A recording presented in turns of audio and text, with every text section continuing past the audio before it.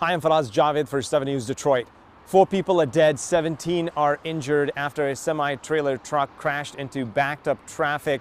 This happened just before midnight Saturday on I-96 westbound. I'm standing right before the M52 intersection and that's where it happened. What you can see right behind me is Michigan State Police investigating the crash as well as the cleanup efforts taking place.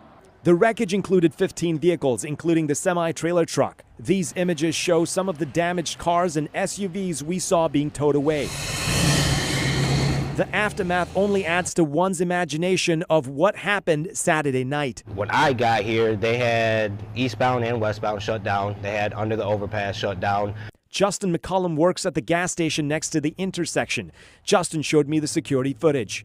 At 11:41 p.m., you can see the fireball explosion rolling down westbound on I-96. We had Stockbridge coming out, we had Williamston, Bath, Fowlerville uh, responded, Webberville responded. Michigan State Police's 1st District Lieutenant Rene Gonzalez says moments before the crash, a few MSP units had closed the freeway for 15 minutes so that DTE workers could pull power lines across the freeway. We had just reopened the freeway and it was westbound I-96. And at this time, traffic was just starting to move again. It was a little bit backed up and we had a semi that was also traveling westbound. It had a trailer on it.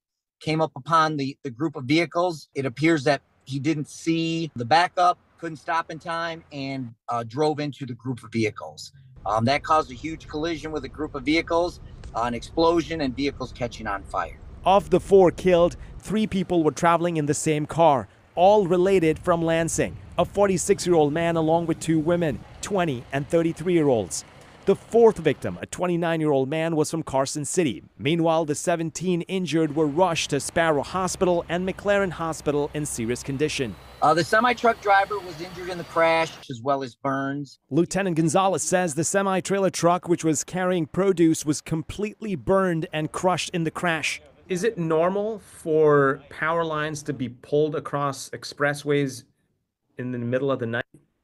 It's it's the best time to do it because the traffic is minimal at that time. As the investigation continues, this father of three can begin to imagine how many lives will be impacted by the crash. There's some family today that are going to be traumatized for the rest of their lives because of what happened today. MSP also says after the cleanup, MDOT engineers will check the bridge for structural integrity, which will require time. Hence, Monday morning commuters may have to find an alternate route as the section of the road may be closed. In Webberville, I'm Faraz Javed, 7 News Detroit.